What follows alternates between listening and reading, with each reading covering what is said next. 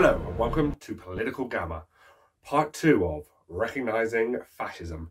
Last time we looked at Robert Paxton's book, The Anatomy of Fascism, where we discussed what the mobilizing passions of fascists are.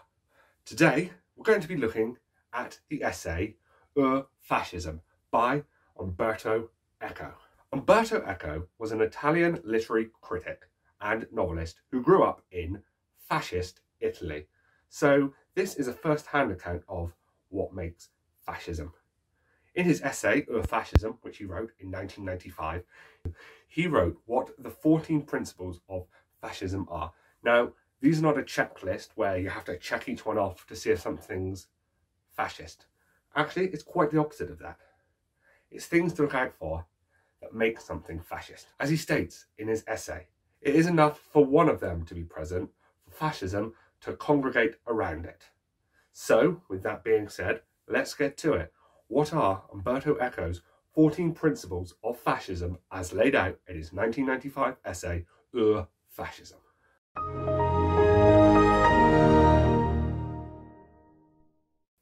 One, the cult of tradition. One has only to look at the syllabus of every fascist movement to find the major traditionalist thinkers.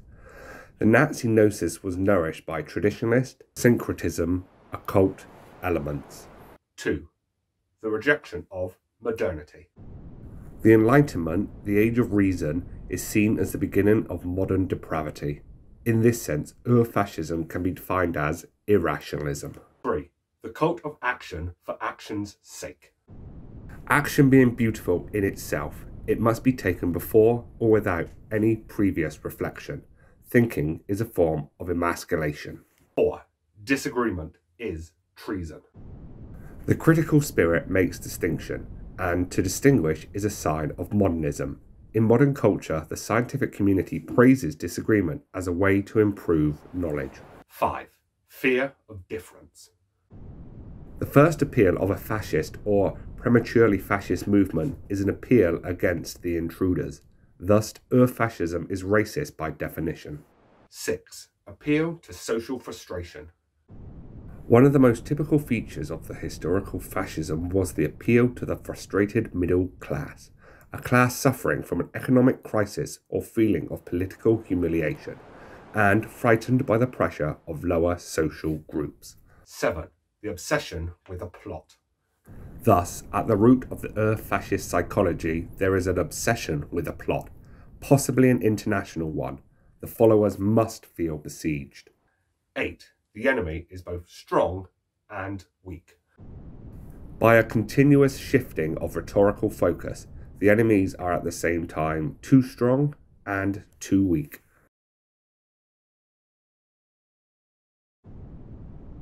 For Ur-fascism there is no struggle for life, but rather life is lived for struggle. 10. Contempt for the weak. Elitism is a typical aspect of any reactionary ideology. 11. Everybody is educated to become a hero. In Ur-fascist ideology, heroism is the norm this cult of heroism is strictly linked with the cult of death. 12. Machismo and weaponry. Machismo implies both disdain for women and intolerance and condemnation of non standard sexual habits, from chastity to homosexuality. 13. Selective populism. There is in our future a TV or internet populism in which the emotional response of a selected group of citizens can be presented and accepted as the voice of the people. And last but by no means least, 14. Ur-fascism speaks newspeak.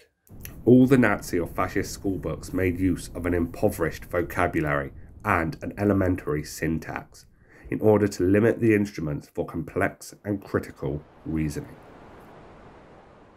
there you have it, a very brief and quick introduction to the 14 principles of fascism as laid out in Ur Fascism. I urge you to go out and read the essay. It's not very long. I'll leave a link in the comments below. Hopefully you found this very brief introduction helpful to introduce you to things you need to look out for in regards to fascism. If you have, please like, comment and subscribe. It helps so much to get these messages out there. And if you have found this video useful, please share it with your friends and families because the more people that know about this, the better chance we stand against fascism. I know, I know, it's coincidence isn't how I both want to grow my YouTube channel and the best way to fight these things is by sharing it, but hey, that's just the way it works out. So please share it, like, comment and subscribe. And if there's anything you liked in the video, leave it in the comments below. And if there's anything you think I could do to improve it, then please drop it in the comments below. As for now, that's all I have to say. So as always, stay beautiful and thank you for watching Political Glamour.